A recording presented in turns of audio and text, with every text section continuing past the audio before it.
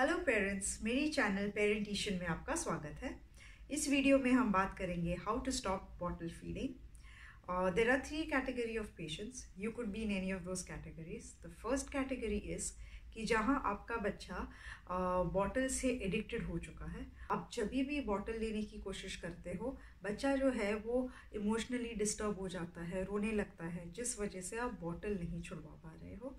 Please don't worry ये video में मैंने जो मेथड बताया हुआ है, वो अगर आप प्रॉपरली फॉलो करोगे तो 15 डेज़ के अंदर आपका बेबी जो है, वो एक भी आँसू बहाए बिना, बिल्कुल रोए बिना, सामने से बॉटल छोड़ देगा।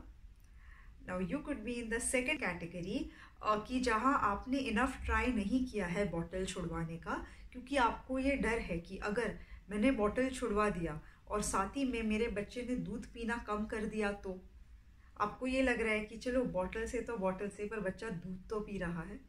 So for these parents I would like to request कि आप ये वीडियो भी एक बार देख लें कि जहाँ मैंने मैंशन किया हुआ है कि बॉटल से दूध देने से कितना ज़्यादा नुकसान हो सकता है। You could be in the third category कि जहाँ आपका बच्चा जो है वो 15 मंथ से कम एज का है। तो ये वीडियो जो है वो आपके काम का नहीं है। You have to watch this video जिसमें मैंने मेंशन किया हुआ है कि अगर बॉटल से नहीं तो किस तरीके से आपको दूध देना है। So now let's quickly begin with the current video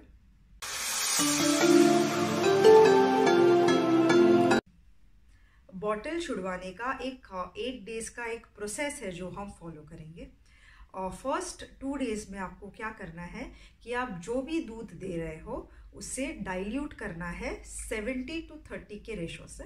इसका मतलब क्या हुआ कि अगर आप बॉटल में 100 एम दूध दे रहे हो तो आपको सिर्फ़ 70 एम दूध देना है और 30 एम उसमें पानी मिक्स करना है। This is called dilution of 70 to 30 के रेशो से। पहले दो दिन आपको इसी तरीके से दूध देना है कि 70 एम दूध है 30 एम पानी है। और आप जब भी दूध दो मतलब सुबह, शाम, दोपहर, हमेशा यही रेशो में वो डाइल्यूटेड होना चाहिए for the first two days आप थर्ड डे पे क्या करोगे? थर्ड डे पे आप 50 50 परसेंट कर दोगे। 50 एम मिल्क और 50 एम वाटर अब ये टाइम पे बहुत से पेरेंट्स को ये क्वेश्चन हो रहा होगा कि दूध को पानी के साथ मिक्स करके बच्चे को दे। मतलब दूध बच्चे के पेट में कम जाएगा तो please don't worry at the end of the video मैंने इसका एक कंपेंसेशन चार्ट दिया हुआ है कि ये पर्टिकुलर डेज़ जहाँ पे uh, बच्चे के पेट में दूध कम जा रहा है दूध और पानी मिक्स करके जा रहा है तो दूध का जो रिक्वायरमेंट है वो हम किस तरीके से कंपेंसेट करेंगे ये एंड ऑफ़ द वीडियो में बताया हुआ है।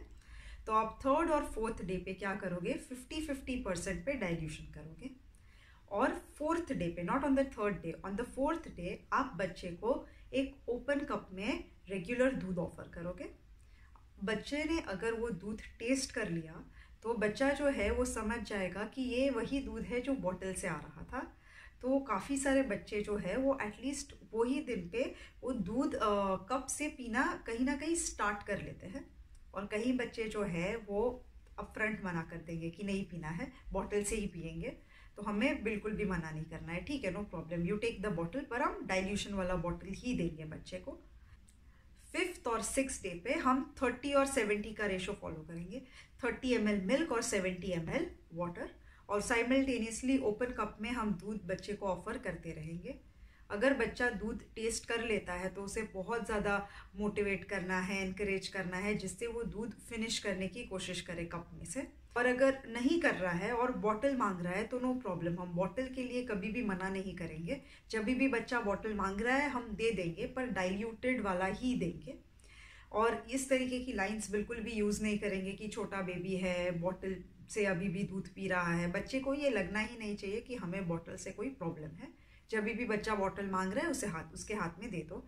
अभी सेवेंथ डे पे रेशो जो है वो ट्वेंटी टू एटी कर देना है। Twenty M L milk eighty M L water और एथ डे पे ten M L milk and ninety M L water और ये जो रेशो है टेन टू नाइन्टी का, वो हमें फॉलो करना है फिफ्टीन डेज़ तक कंसिस्टेंटली अब ये समझने की कोशिश करते हैं कि बच्चा इतना ज़्यादा एडिक्टेड क्यों होता है।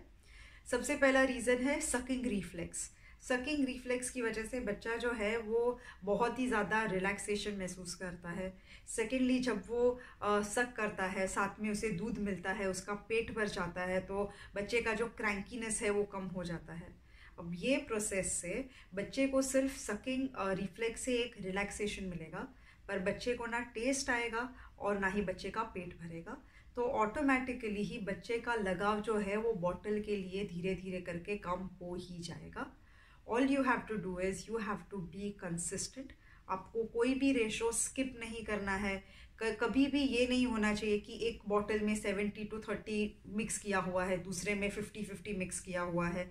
ये मिस्टेक नहीं होनी चाहिए। बहुत ही कंसिस्टेंटली और प्रॉपरली अगर आप ये मेथड फॉलो करोगे तो बच्चा जो है वो डेफिनेटली सामने से बॉटल को गिव अप कर ही देगा। अब ये 15 डेज़ की जहाँ हम पानी और दूध को मिक्स करके दे रहे हैं और बच्चे के पेट में दूध कम जा रहा है तो हम क्या कर सकते हैं?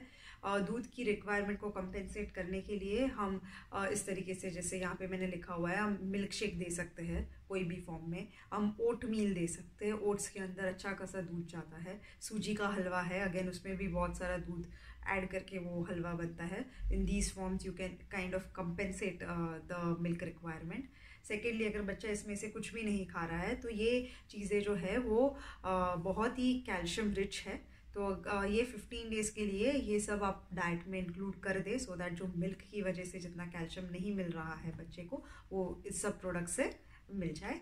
So that's it I hope ये वीडियो आपको हेल्पफुल लगा है। अगर ये वीडियो आपको हेल्पफुल लगा है तो please hit the like button and subscribe my channel thank you for watching